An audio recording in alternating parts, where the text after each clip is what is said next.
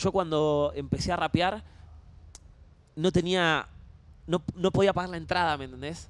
Y no por la situación económica de mi familia, lo que sea, porque seguramente si lo pedía a mis padres me la pagaban. Pero vivía lejos, tenía que arriesgarme a viajar solo, eh, no conocía el mundo, no me animaba mucho a ir.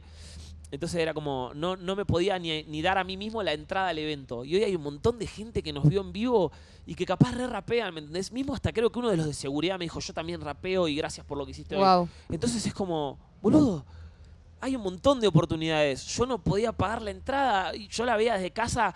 Cuando Papo perdió en 2000, no quiero mentir el año, 2016 fue la Inter de Perú. Yo lloré, boludo, lloré. Lloré porque perdió Papo. Y ahora estoy enojado porque me ganó una liga. ¿Me entendés a lo que voy? Entonces, es eso, guachos. Es re palpable. Se puede tocar el cielo, amigo, de piola. Búsquenlo porque se re puede, amigo. Lo mío fueron seis años. Quizás a otro le lleve menos, quizás a otro le lleve más. Pero se re puede, amigo. Se re puede mal.